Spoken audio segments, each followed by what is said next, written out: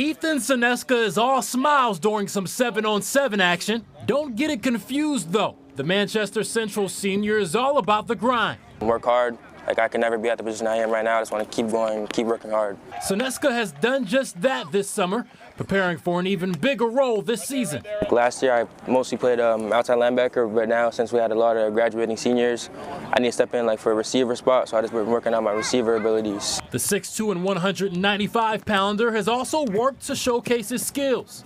Cenesca attended the New England Gridiron Showcase Camp. He's received interest from D2 and D3 colleges with hopes of getting D1 interest. Um, a lot of coaches said I was like the number one athlete there. I went as a receiver and outside linebacker, um, competing on both sides of the ball. It's not all about football, though. Cenesca is a 3.8 GPA student. His motivation to be his best goes back to his mom and dad. She had to bring along, bring along my other siblings, like they were little kids. She would have to leave work early to pick me up from games, watch games, stuff like that. And my dad would come all the way from Mass to watch me, what they see in me, the potential and stuff.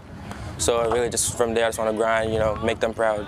After a productive summer, Cenesca is ready to do big things for the Little Green. We haven't been to the playoffs in a while. This is my senior year, so I want to like, you know, leave a mark. So I really just want to aim for the playoffs, and if we make the playoffs, aim for the uh, state championship.